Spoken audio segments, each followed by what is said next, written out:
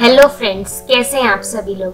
चलिए मैं हाजिर हूँ अपनी एक नई वीडियो के साथ, जिसमें यूपी टेट 2018 की नई सीरीज़ में आज ये सेकेंड वीडियो है भाषा वन हिंदी की, जो कि आपके यूपी टेट एग्ज़ाम के पेपर में 30 क्वेश्चन आएँगे हिंदी से।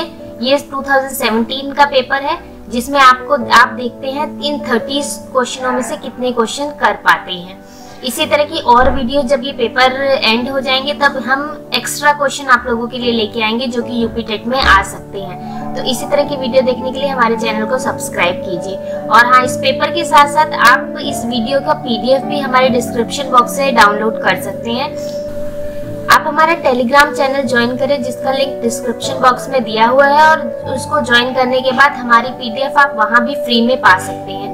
इस पीडीएफ को बस पाँच मिनट में आप पूरा लेसन रिवाइज कर सकते हैं। और ये क्वेश्चन जो है बार बार आपके एग्ज़ाम में रिपीट होते हैं। इसीलिए मैं आपको ये क्वेश्चन करा रही हूँ। इसके बाद हम एक्स्ट्रा क्वेश्चन की सीरीज़ लेकर आएँगे, जो कि लगभग थाउज़ेंड क्वेश्चन तक होगी, जो आपके एग्ज़ाम में डेफिनेटली श्योर आएँगे ही आएँगे। तो चलिए, अब आपको शिक्षक बनने से कोई नहीं रोक सकता। इस श्रृंखला में आगे बढ़ते हैं। अपना सुपर थर्टी लेके। पाठ्यक्रम तो आपको पता ही होगा पहली वीडियो में आप, मैं आपको बता चुकी हूँ। फाइव बाल विकास और शिक्षा सात से तीस क्वेश्चन भाषा से हिंदी भाषा से तीस क्वेश्चन अंग्रेज़ी भाषा से तीस क्वेश्चन गणित से तीस क्वेश्चन और पर्यावरण शिक्षा से तीस क्वेश्चन आएँगे। तो ज़्यादा टाइम ना वेस्ट करते हुए आगे चलते हैं क्वेश्चन नंबर वन की तरफ़। हमारा पहला क्वेश्चन है हिंदी में। निमिष शब्द का क्या पर्याय है? मतलब इसका मतलब क्या है निमिष शब्द का? प्रकाश चंद्र पूर्ण या क्षण? तो इसका करेक्ट आंसर है क्षण। Question number two. मुझसे उठा नहीं गया वाक्य में वाच्य है। कौन सा वाच्य आता है इसके अंदर? तो ऑप्शन है हमारे पास, कृतवाच्य, कर्मवाच्य, भाववाच्य या इनमें से कोई नहीं। तो करेक्ट आंसर है भाववाच्य। क्वेश्चन नंबर थ्री जिसकी पूर्व से कोई आशा न हो के लिए एक शब्द कौन सा है इनमें से? प्रत्याशा, अप्रत्याशित, अपरिमेय या अनाहूत। जिससे पूर्व में कोई आशा ना हो तो इसका करेक्ट आंसर है अप्रत्याशित। क्वेश्चन नंबर फोर, गोधूम शब्द का तद्भव क्या होगा इनमें से? गेहूँ, गाय, गोबर या गोधन? तो करेक्ट आंसर है गेहूँ। क्वेश्चन नंबर फाइव निष्कपट शब्द का संधि विच्छेद क्या है इनमें? निह प्लस कपट, निश प्लस कपट, नी प्लस कपट या निस प्लस कपट? तो करेक्ट आंसर है निह। विसर्ग लगा हुआ है नी के आगे, प्लस कपट। क्वेश्चन नंबर सिक्स निम्न में से किस शब्द की वर्तनी सही है इनमें से? अनुग्रहित अनुग्रहित अनुग्रहित या अनुग्राहित? तो इनमें से कौन सा स्पेलिंग में करेक्ट लिखा हुआ है? तो अनुग्रहित जो सेकंड नंबर पे लिखा हुआ है, वो बिल्कुल करेक्ट है। क्वेश्चन नंबर सेवन अपेक्षा का विशेषण रूप क्या है इनमें से? उपेक्षा, सापेक्ष, निरपेक्ष या अपेक्षित? तो इसका करेक्ट आंसर है अपेक्षित, उपेक्षा का विशेषण। क्वेश्चन नंबर एट श ध्वनि का उच्चारण स्थान क्या है? मूर्धा, दंत, तालु या दंतालु। हम श का जब उच्चारण करते हैं तो हम गले से करते हैं, अपने दांतों का यूज़ करते हैं, दंत, दांतों और तालु का दोनों यूज़ करते हैं या तालु का यूज़ करते हैं। तो आप बोल के देखिए श ध्वनि में हमारे तालु मैच हो रहे हैं मतलब ऊपर टच हो रहा है तालु श बोलने पर। क्वेश्चन नंबर नाइन अत्यंत शब्द में प्रयुक्त, उपयुक्त उपसर्ग कौन सा है? तो इसका ऑप्शन है हमारे पास अत, अ, अति और अति। तो अत्यंत। अत्यंत को आप अलग अलग कीजिए। अति प्लस अंत। तो इसका अति प्लस अंत इसका संधि विच्छेद होगा तो अति इसका उपसर्ग होगा और अंत इसका प्रत्यय होगा। क्वेश्चन नंबर टेन उपत्यका का अर्थ क्या है इनमें से? सूर्य जिस पर्वत के पीछे से निकलता है, उसे उपत्यका कहते हैं। प्राणियों के पेट का एक अंग है, पर्वत का शिखर है, पर्वत के पास की भूमि है। तो इसका करेक्ट आंसर है उपत्यका मतलब पर्वत के पास की भूमि। ड़ा का उच्चारण स्थान होता है, इनमें से क्या? नासिक के नासिका से बोला जाता है। कंठोस्त कंठ से मूर्धन्य या कंठ और तालु दोनों से। तो करेक्ट आंसर है, नासिका से। ड़ा बोलते हैं तो आपकी नाक से आवाज़ आती है। क्वेश्चन नंबर ट्वेल्व चार गज मलमल में कौन सा विशेषण है? संख्यावाचक, गुणवाचक, परिमाणवाचक या सर्व सार्वनामिक? तो परिमाणवाचक, इसमें विशेषण यूज़ होता है। क्वेश्चन नंबर थर्टीन शीश का तत्सम रूप क्या है? तो ये तो आप सबको आता होगा, शीशा, शीर्ष, सिरा या शीर्षक। तो करेक्ट आंसर है इसमें शीर्ष। शीर्ष माने शीश चौराहा शब्द में समास है, इनमें से कौन सा? कर्मधार्य द्वंद द्विगु या अव्यय भाव तो चौराहा में द्विगु समास है, जैसे कि आप लोगों को पता भी होगा, जहाँ भी कोई संख्या आती है, किसी शब्द में विच्छेद करने में पहले संख्या आ जाए तो वो द्विगु समास कहलाता है। और अगर बीच में और का ऑप्शन आता है तो वो द्वंद समास कहलाता है। द्वंद और द्विगु में तो बिल्कुल ही कंफ्यूजन नहीं होना चाहिए। अगर आपको इस संबंध में भी कोई जानकारी चाहिए तो हमें कमेंट कीजिए, हम इस पे अलग से वीडियो बना के आपको बताएँगे कि समास में क्या क्या डिफरेंस है, हम कैसे पहचान सकते हैं समासों को? तो द्विगु समास चौराहा मतलब चार राहें जहाँ होती हैं तो वो द्विगु समास के अंडर में आएगा। क्वेश्चन नंबर फिफ्टीन आँख की किरकिरी होना एक मुहावरा है, उसका अर्थ क्या है इनमें से? धोखा देना, कष्टदायक होना, बहुत प्रिय होना या अप्रिय लगना?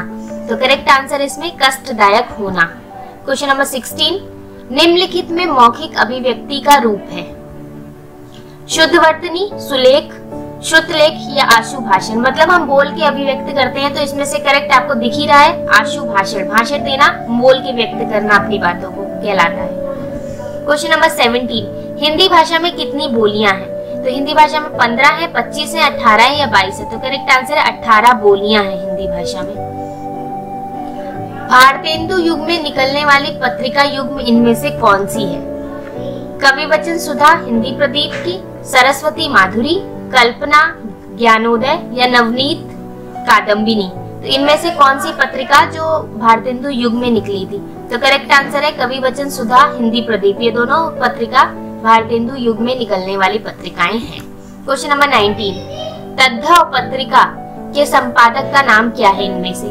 लीलाधर जगुड़ी लीलाधर जगुड़ी, विश्वनाथ प्रसाद तिवारी, हरे प्रकाश उपाध्याय, अखिलेश। तो करेक्ट आंसर है अखिलेश। क्वेश्चन नंबर ट्वेंटी बारह बरस लो, कुकर जीवे और तेरह बरस लो, जीवे सियार। ये पंक्तियाँ किसने दी हैं? हमारे प्रसिद्ध, प्राचीन इन कवियों में से किसने कहा है? विद्यापति चंद्रबरदाई नरपति नाल या जगनिक? तो करेक्ट आंसर है, जगनिक ने कहा है ये चीज़। क्वेश्चन नंबर ट्वेंटी वन निम्नलिखित में से किस देश में हिंदी भाषा का प्रयोग लिखने में और बोलने में किया जाता है इनमें से? ऑस्ट्रेलिया, दक्षिण अमेरिका, पाकिस्तान या मॉरिशस? तो करेक्ट आंसर है, Mauritius. Question number twenty two. Sur Sagar किस भाषा की रचना है? सूर सागर किस भाषा में लिखी हुई है? बुंदेली में अवधि में, ब्रज या छत्तीसगढ़ी में? तो सूर सागर ब्रज भाषा में लिखी हुई है और सूर सागर के रचनाकार है सूरदास जी। वीरों का कैसा हो बसंत कविता किसने लिखी है? सुमित्रा कुमारी चौहान, माखनलाल चतुर्वेदी, रामधारी सिंह दिनकर या सुभद्रा कुमारी चौहान? तो आप लोगों को इसका आंसर आता ही होगा झांसी की रानी सुभद्रा कुमारी चौहान, वीरों का कैसा बसंत, कैसा हो बसंत, सुभद्रा कुमारी चौहान। सुभद्रा कुमारी चौहान की जो पंक्तियाँ होती हैं, वो ज़्यादातर वीर रस पे आधारित होती हैं। जैसे कि झांसी की रानी, वीरों का कैसा हो बसंत। निम्नलिखित में से कौन सी व्याकरण और वर्तनी में शुद्ध भाषा कहलाती है? साहित्यिक भाषा, प्रांजल भाषा, व्याकरणिक भाषा या मानक भाषा? तो करेक्ट आंसर है इसका मानक भाषा। क्वेश्चन नंबर ट्वेंटी फाइव निम्नलिखित में से कौन सा रासो आलाखंड के नाम से प्रसिद्ध है? पृथ्वीराज रासो खुमान रासो परमाल रासो बीसल देव रासो तो करेक्ट आंसर है इसका, परमाल रासो नेक्स्ट क्वेश्चन हमें एक पैसेज दिया हुआ है, इस पैसेज को पढ़ के, इसको पढ़ के पूरा ऐसे आप दो मिनट का टाइम लीजिए, इसे पूरा पढ़िए और इसके बेस पे आप अपना आंसर देने की कोशिश कीजिए। तो मैं इसको पढ़ना पढ़ते हुए आगे बढ़ती हूँ, अपना क्वेश्चन पे आती हूँ directly question number twenty six. घुमक्कर शब्द में कौन सा प्रत्यय है? अक्कड़, अड़, कड़ या ड़? तो करेक्ट आंसर है अक्कड़। Question number twenty seven. ये सब जो क्वेश्चन है, ट्वेंटी सेवन से लेके थर्टी तक, ये पैसेज पे डिपेंड करते हैं। आपको अपने सोच के नहीं बताना, आप पैसेज पढ़ेंगे, उसी में इनका आंसर छुपा हुआ है। तो फिर इसको ध्यान से जरा देख के करिए। महावीर स्वामी का जन्म कहाँ हुआ था? पावापुरी, वैशाली, कुशीनगर या पारसोली? तो करेक्ट आंसर है वैशाली में। स्वच्छंद में कौन सी संधि है? व्यंजन संधि, विसर्ग संधि, दीर्घ संधि या गोड़ संधि? तो करेक्ट आंसर है व्यंजन संधि। Question number twenty nine Mahatma Buddha ने जब बुद्धत्व प्राप्त किया, तब उनकी अवस्था कितनी थी? बारह वर्ष, पैतीस वर्ष, पैतालीस वर्ष या अस्सी वर्ष? जब उन्होंने ज्ञान प्राप्त किया बुद्धत्व मीन्स ज्ञान प्राप्त किया तो उनके कितने वर्ष के थे वो? तो इसका करेक्ट आंसर है सॉरी यहाँ आंसर डिस्प्ले नहीं हो रहा, मैं इसका आंसर बता देती हूँ। इसका आंसर है थर्टी फाइव वर्ष, पैंतीस वर्ष के थे क्वेश्चन नंबर थर्टी श्रुति धर्म का क्या अर्थ है? श्रुति धर्म इनमें से किसको कहा जाता था? जैन धर्म को, बौद्ध धर्म को, मुस्लिम धर्म को या वैदिक धर्म? तो इसका करेक्ट आंसर है वैदिक धर्म। वैदिक धर्म ऐसा धर्म था जिसे हम एक गुरु सुनाता था और शिष्य सुनते थे। इसी तरह वो धर्म एक से दूसरे के में ट्रांसफ़र हुआ था। वैदिक धर्म, उसका कोई लिखित साक्ष्य हमें मिला नहीं है। तो यहीं पे खत्म होते हैं आज के सुपर थर्टी। आशा है आपको ये पसंद आएँगे। आप हमें लाइक कीजिए शेयर कीजिए सब्सक्राइब कीजिए हमारे चैनल को। इसी तरह की और वीडियोस आपके सामने हम लाते रहेंगे। और एक्स्ट्रा एक्स्ट्रा क्वेश्चन जितने ज़्यादा हो सकेंगे, हम आपके सामने लाने की कोशिश करेंगे। और आप इस वीडियो की पीडीएफ ज़रूर डाउनलोड कीजिए।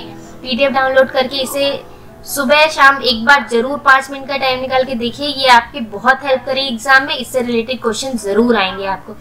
आपका पूरा वीडियो देखने के लिए बहुत बहुत शुक्रिया। धन्यवाद।